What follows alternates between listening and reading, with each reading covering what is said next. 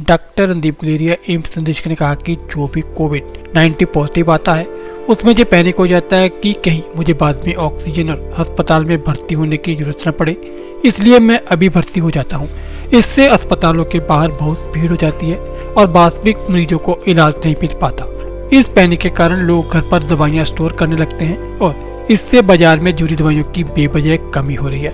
कई लोग सोचते हैं कि कोरोना है तो मैं पहले दिन ही सारी दवाइयाँ शुरू कर लेता हूँ। इससे साइड इफेक्ट ज्यादा होते हैं अगर हम सब लोग आइसोलेशन नहीं करेंगे और पैनिक के कारण अस्पताल में भर्ती होना चाहेंगे तो दुनिया का कोई भी इंफ्रास्ट्रक्चर ऐसा नहीं है जो इन सब लोगों को मैनेज कर पाएगा ਦੇਸ਼ ਦੁਨੀਆ ਦੀਆਂ ਤਾਜ਼ਾ ਖਬਰਾਂ ਦੇ ਲਈ ਹੁਣੇ ਪਲੇ ਸਟੋਰ ਤੋਂ ਡਾਊਨਲੋਡ ਕਰੋ ਪੰਜਾਬ ਦੀ ਆਵਾਜ਼ ਅਜੀਤ ਨਿਊਜ਼ ਐਪ ਹੁਣ ਤੁਹਾਡਾ ਆਪਣਾ ਅਜੀਤ ਹਰ ਸੋਸ਼ਲ ਮੀਡੀਆ ਪਲੇਟਫਾਰਮ ਦੇ ਉੱਤੇ ਉਪਲਬਧ ਹੈ ਫੇਸਬੁੱਕ ਦੇ ਉੱਤੇ ਹੁਣੇ ਲਾਈਕ ਤੇ ਫੋਲੋ ਕਰੋ ਅਜੀਤ ਦਾ ਅਫੀਸ਼ੀਅਲ ਪੇਜ ਡੇਲੀ ਅਜੀਤ ਤੇ ਹਾਂ, ਨਾਲ ਹੀ ਦੋਸਤਾਂ ਨੂੰ ਪੇਜ ਲਾਈਕ ਕਰਨ ਦੇ ਲਈ ਇਨਵਾਈਟ ਕਰਨਾ ਨਾ ਭੁੱਲਣਾ।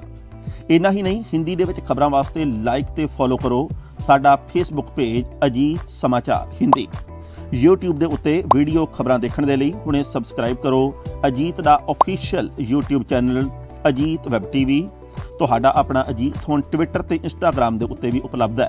ਟਵਿੱਟਰ ਦੇ ਉੱਤੇ ਖਬਰਾਂ ਦੇ ਲਈ ਫੋਲੋ ਕਰੋ ਡੇਲੀ ਅਜੀਤ ਤੇ ਇੰਸਟਾਗ੍ਰam ਦੇ ਉੱਤੇ ਖਬਰਾਂ ਦੇ ਨਾਲ ਨਾਲ ਵੀਡੀਓ ਦੇਖਣ ਦੇ ਲਈ ਫੋਲੋ ਕਰੋ ਬਲੂ ਟਿਕ ਵਾਲਾ।